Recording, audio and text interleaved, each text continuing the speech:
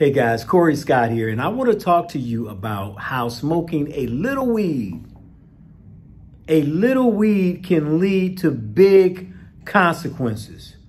I don't know if you ever heard this phrase before, but there's a phrase that says, little hinges swing big doors. I'm going to repeat that. Little hinges swing big doors. Now, back to my topic. Let me tell you how smoking a little weed can lead to big consequences. I'm going to tell you exactly how this plays out every day, every city, every state across America.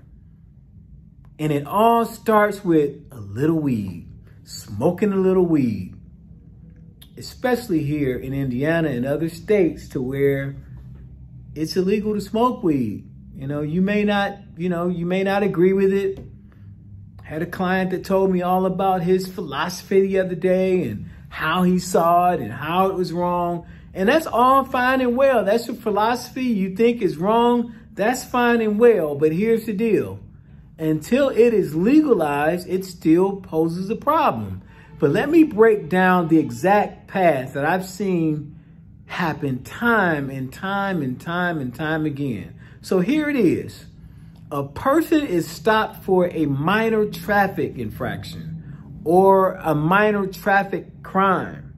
A lot of times they're stopped because they got a suspended license or maybe their tint is too dark or their license is in the wrong place. It's in the window and it should be affixed to the back of the car. Or the person didn't signal within 200 um, yards of an intersection. I mean, the reasons are just, they're too many to really go through every scenario. But the point is this, it all starts with a traffic stop. So you got the traffic stop, light you up, cherries and berries, blue and red. You pull over, you're waiting on the officer to come to the car. Your mind starts spinning. You know you've been smoking weed. The officer comes to the car, and lo and behold, what do they smell? They smell what they know as they put in their report from their training and experience to be either burnt or raw marijuana. And so once they smell the marijuana, that gives them the right to say, Mr. and Mrs. So-and-so, Mr. and Mrs. smoking weed in the car, could you please step out for me? Because that gives them probable cause to get you out. That gives them probable cause to say that you're breaking the law. And so you step out. And then for many people, I've seen this happen again, time and time again. What happens when smoking a little weed isn't the only thing that you got going on? What happens when in addition to smoking a little weed, you got pills or you got a large quantity of more serious drugs? What happens when you got a gun in the car that you don't have a license for? I'm telling you that this is the path of so many cases. It all starts with a traffic stop. Traffic stop leads to the officer smelling marijuana the officer smelling marijuana allows the officer to take you out of the car so your car can be searched. And then that search turns up something way more serious.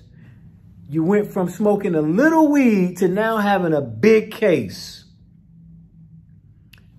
I'm just telling you, the next time you think about and again, I'm not condoning, I'm not telling you to do it. I'm not telling you to break the law. But I also know full well that there's some folks that just ain't gonna stop smoking.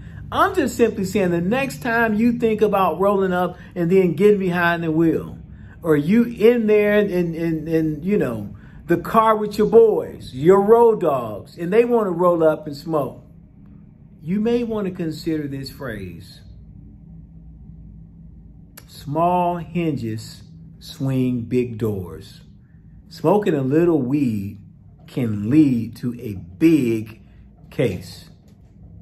Until next time, take great care make great decisions. And if you have to be guilty of anything, be guilty of greatness.